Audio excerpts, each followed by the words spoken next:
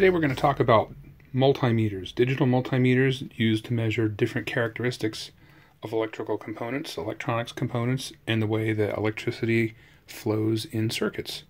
I've got two here, and each of them are slightly different. What they have in common is that there is a dial for a selector range depending on whether you want to measure DC volts AC volts, you want to measure DC current, if you want to measure resistance. And this has the feature of being able to measure um, a 1.5 volt battery like an A, double A or triple A, a 9 volt battery, and measure temperature in Celsius and degrees Fahrenheit, and continuity test and give you a tone, an audible tone to let you know if there's continuity. There are three places to plug in the probes. The center one is the common for the black wire. And if you're going to measure current up to 10 amps, that would plug the red probe into the one on the left. If you're going to measure anything else, you plug the red probe into the current on the right. In this multimeter, there's an on-off switch where the other dial had off as one of the positions. And again, you can measure a different range of resistances. You can measure measure different range of voltages in DC, AC, you can measure current in a variety of ranges here and perform a continuity test. Additionally, this offers the option of being able to test a transistor as well by plugging the three prongs of a transistor in for the collector base and emitter, depending on if it's NPN or PNP. And again, you've got three places to plug in your probe wires. You can plug in a common black here, and then depending on whether you're going to measure volts, ohms, or milliamps, you can plug into the middle one with your red wire, or if you're going to measure uh, up to 10 amps DC, you can plug your red probe instead into this section. So let's talk about the concept of continuity.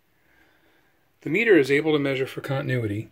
In this case, it's the lowest setting in the resistance category. Continuity simply means that the electrons are able to travel unimpeded or unrestricted. You can think of it like electrons traveling through a piece of plain wire. I've set my meter prior to doing any testing to the desired range, which is for continuity, and you'll be able to see the resistance reading go down to zero on this because it's just a piece of plain wire, and you'll hear an audible tone. This is telling me I have continuity.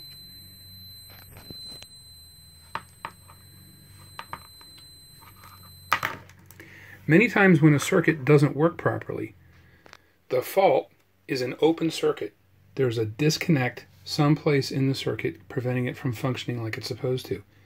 Being able to perform a continuity test is an important diagnostic function to be able to rule out and reduce your list of possibilities for why something doesn't work. And this is all a continuity test is. You hook a probe up to each end of the wire and make sure that you have zero ohms resistance. If it were to read a 1 on the left side like so, that would tell you clearly, visually you can see it, there is not a connection. And this can happen inside the wire insulation. Into the bare eye, you wouldn't be able to tell it, but by performing a continuity test, you could hook that up and still see infinity, or 1 is what that means on the left side, and not hear a tone, even with that clip lead connected. And that would tell you that there was a break in that wire. That would help you narrow down why the circuit didn't work. Let's talk about what a short circuit is. Oftentimes, when people refer to a circuit that doesn't work correctly, they will say it's shorted out or it's got a short circuit. Usually, the case is not that it's a short circuit, but that there's a break in the wire someplace and you have an open circuit, much like what we discussed with the continuity test. In reality, a short circuit would be if we took a wire from the plus terminal and hooked it directly to the minus terminal or ground connection on the power supply or the battery. I'm not going to do that because that's not good for the battery. It's harmful for the battery, and over a prolonged period of time, it will build up heat and it will fail. You might see it bulge on the backside. Uh, perhaps some of the chemical chemistry inside the battery might ooze out, and that's not safe. It's not good for the battery. On a power supply that's plugged into a 110 or 220 um, power supply, from the main electrical wiring in the structure, that can be very damaging and very harmful.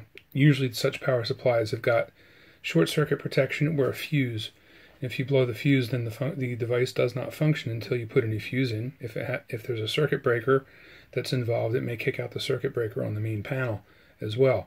And these are safety devices to prevent the damage that happens when all the electrons rush from one terminal through this piece of wire directly to the other terminal without doing any work.